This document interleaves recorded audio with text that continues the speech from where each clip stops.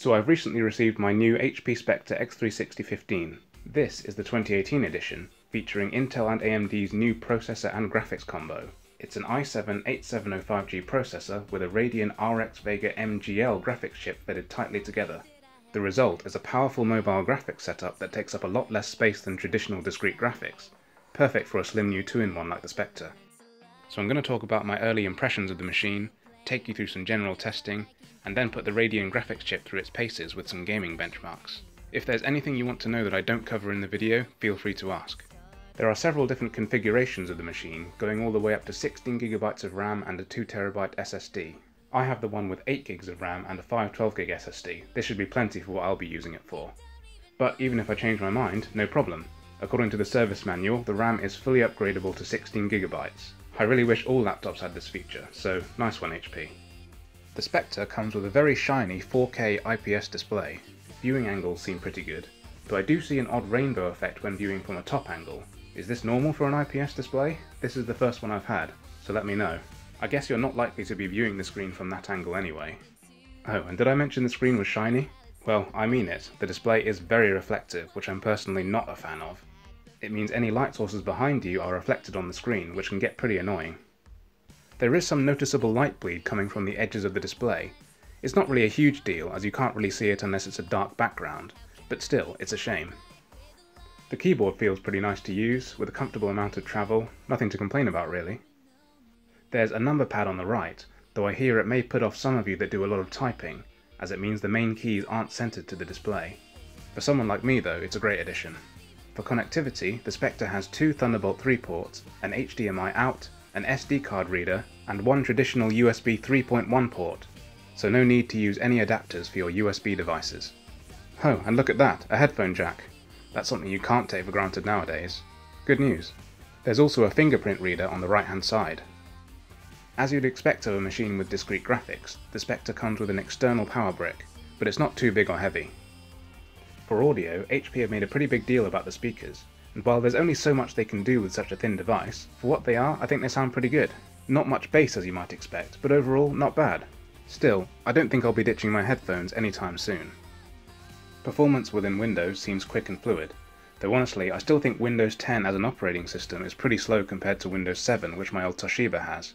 I don't think this is HP's fault though, as the Spectre is easily the best performing Windows 10 device I've used so far. With fast startup enabled, it boots to desktop almost instantly, Battery life is adequate but not brilliant. I tested it with a combination of video streaming, background downloads and files transferring from an external hard drive, at the same time for much of it. With high brightness settings I set the laptop on a flat but textured surface. With this setup, the fans kicked in and I lost 50% battery in about 2 hours, so you can probably expect 4 or 5 hours of moderate usage. But if you're doing lighter work like word processing, I expect it'll get you through a typical workday without needing to plug in. It's taking me some time to get used to the touchpad. I don't mind that it's off-center, but because the left and right clicks are part of the touchpad itself, I've sometimes been accidentally moving the cursor while trying to click.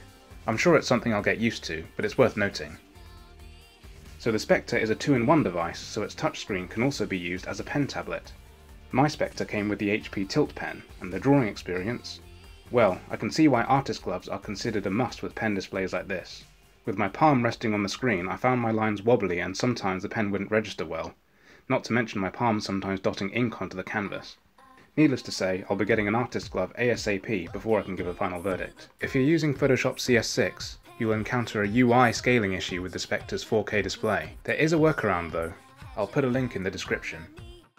Now, how about that Vega M graphics muscle we've heard so much about? For you gamers out there, I'm pleased to say the new Spectre is a very capable machine for light gaming, even with the latest titles. I haven't played a full game session yet, but I had a quick go at a few games. Far Cry 5 at 1080p and medium settings, I was getting about 35 to 45 frames per second. In the Final Fantasy XV demo at average settings 1080p, I was getting frame rates in the 30s, sometimes 40s. I only saw it dip to 29 frames per second once during an intense scene. In Deus Ex Mankind Divided medium settings 1080p, I was getting mostly between 50 and 60 frames per second. There's sometimes a brief frame rate dip shortly after launching a game, dropping frames down to the single digits. I don't know what that's about, but it doesn't seem to be a lasting problem. I'll be keeping an eye on it in the weeks to come. Remember, the system I'm using here has 8GB of RAM. Some of these games recommend 16 gigs, so if you get the 16 gig configuration you may get better results. I should note that the system didn't automatically switch to the Vega GPU by default. I had to manually add the games to the Radeon settings list, so keep that in mind. Also make sure the system's set to best power mode before you launch any games. Before I go, one last thing about the machine's cooling.